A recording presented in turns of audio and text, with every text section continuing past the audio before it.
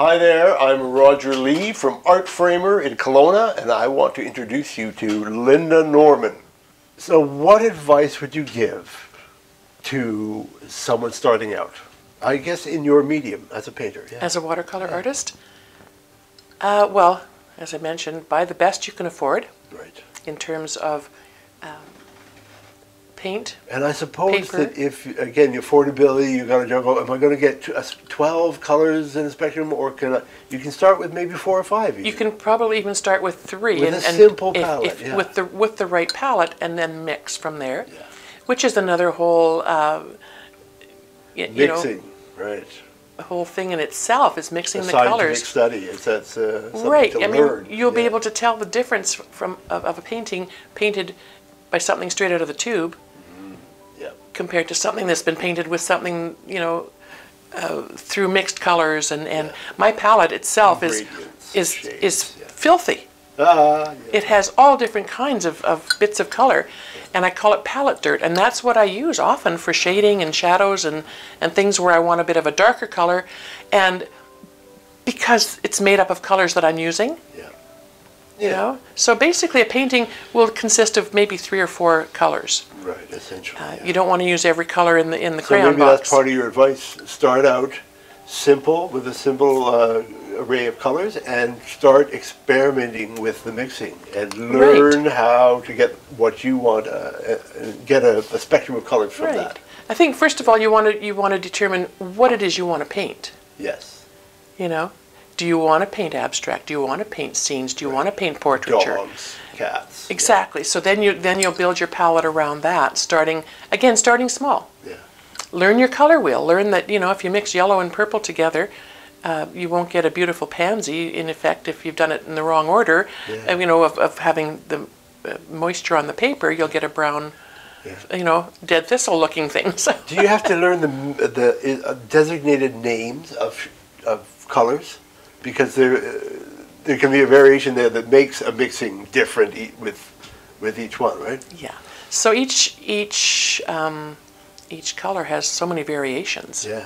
You know, there's um, and studying that a little bit is is maybe important. Um, Is for the me, true primary colors uh, essential, or is are there is there a type of I- blue and a type of red that are better? Yeah. than- Um, so there's warm and cool, cool colors, and there's quinacridones, and there's phthalos, and and a whole range of of.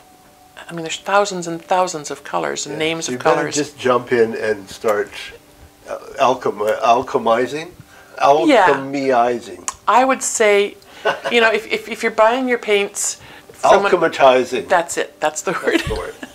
if you're buying your paints from an art store, Yeah. So for example, here in Kelowna we have Opus Arts. Their staff is really knowledgeable, Right. and they will help you uh, if you went in and said, you know, I would I want to start watercolor painting, and I want to buy four tubes of Winsor Newton, Daniel Smith, Holbein. They have a lot a wide range of brands there, even their own brand, Opus brands, and they're lovely. They would work, um, and they will give you some information on what colors to buy. Um, which would come together nicely.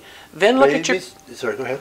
uh, then look at your paper, Yes. you know, and buy, you can buy a, a block Yeah. or a pad of paper. A block is already s- s- sort of sandwiched together Yep. and sealed on the edges, so your water is not going to make your, your pages curl up too much. Ah.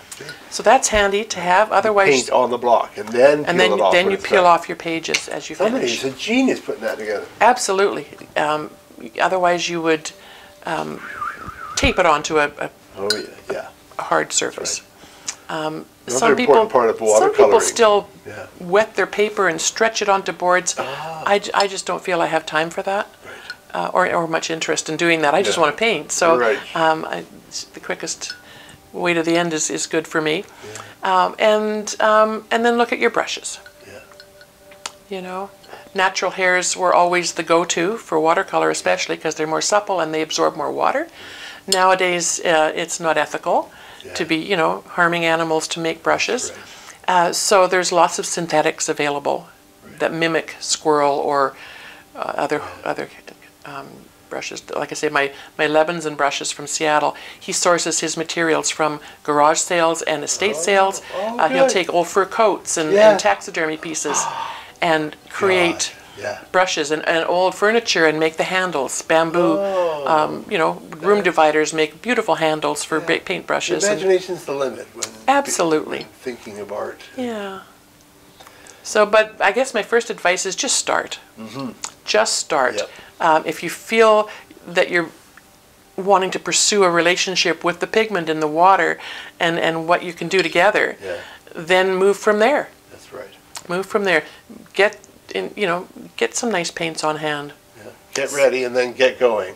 And, and incorporate them and then work on some nice papers and surfaces and then and then some brushes and like I say, sometimes you can create a beautiful painting with I use a bread a tab off a bread bag sometimes, Oh yeah.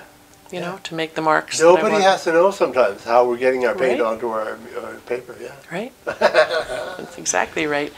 Uh, so um, I guess first advice: just start. Yeah. Just start. I like that. That your whole idea about beginning uh, to to be creative has nothing to do with how it's to re- to be viewed or received or critiqued. I mean, Yep. th- That's way far down the road.